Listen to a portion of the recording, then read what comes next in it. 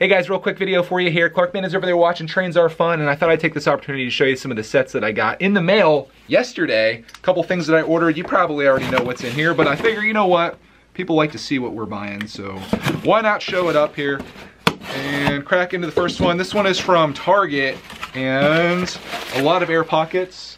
Can the air pockets separate Clark from Trains Are Fun? Let's take a look. It didn't work, guys. He's still watching.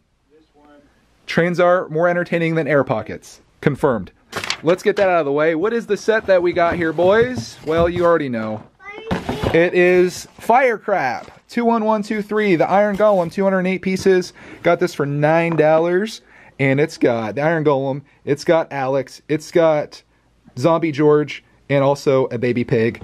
Fantastic set, especially for that price. That up, you're probably wondering, where's the other stuff you were thinking about getting? Well, I decided against it because I thought if I bought that little chicken suit guy, it's gonna eat into my savings on this because I didn't really want that. So I just spent nine bucks. They shipped it to me for free, which is fantastic. And I've got a box to ship some stuff out to people now too.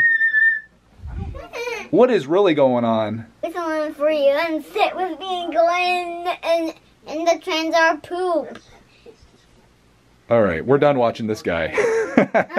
I'm kidding, I'm kidding. Other than that, back to what we're doing here. We've got one other box here from wallyworld.com and looks like it had a little bit of battle damage here on the way in.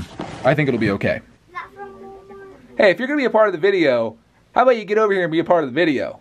Nope, still watching it. I guess I'll open this up all by myself and see what really cool things in here that I'll play with by myself.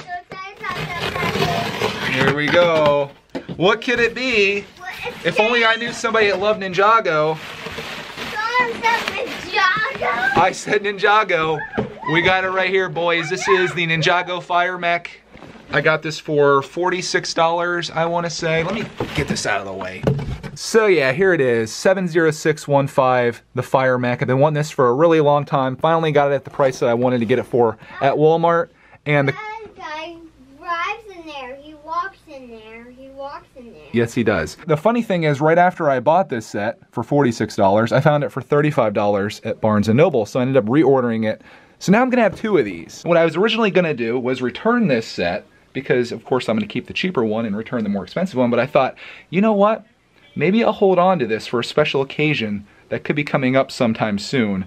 Hashtag 40K. So stay tuned for a contest where somebody may be winning the, the Fire Mech if you're interested in it. But who isn't interested in a smashed up free Lego set? This is a good one, guys. I do like mechs quite a bit. Mech Attack is in the house. Man, I cannot spin this set around. I'm trying to get all fancy. Look at this. We can do it.